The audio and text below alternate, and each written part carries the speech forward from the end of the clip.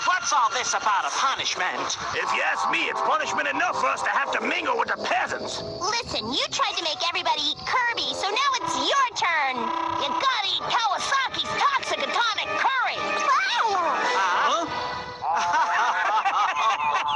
What you mean? That ain't no kind of punishment at all. There's nothing you can cook up that's too hot for us to handle. Here you go. Looks wimpy. Yeah, no sweat.